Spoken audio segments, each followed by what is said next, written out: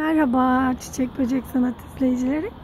Ee, yazlıktayız ve burada üç tane tavuk var. Bizim bahçemize ziyarete gelmişler. Şimdi özellikle bunu çekip göstermek istedim. Biz oraya domates fideleri falan ektik. Yaklaşmaya da korkuyorum. Keyifleri kaçmasın diye. Daha önce onlar kışın burası boş diye gelip bahçeye yumurtluyorlarmış. Şu anda da e, bitkilere henüz zarar vermediler. Ben de o yüzden hiçbir şey söylemiyorum. Kumul bir alan var o kısımda. Daha önce atılmış inşaat için.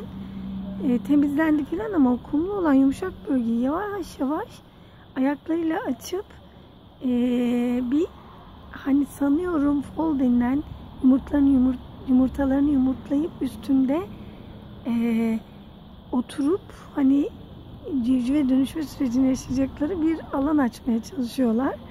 Kumu birbirlerine atıyorlar farkında olmadan. Bakın görüyorsunuz. Ee, ve böyle orayı bayağı oydular. O oyuklarda herhalde yumurtlayacaklar diye düşünüyorum. Eğer yumurtlarlarsa sonra sizinle paylaşacağım. Bu benim ilk kez gözlemlediğim bir şey. Tavuklar orada kumun içinde kendilerine yatak açtılar ve tüylerini de genişlete genişlete oraya yayıldılar. Bakalım ne yapacaklar. Bu arada da topraktan çıkan bazı şeyleri de yemeye devam ediyorlar. Bunlar gerçekten gezen tavuklar. Ee, bizim değil. Ee, ama bizim bahçemizdeler ve çok tatlılar. Paylaşmak istedim. Hoş kalın, hoşça kalın. İyi günler.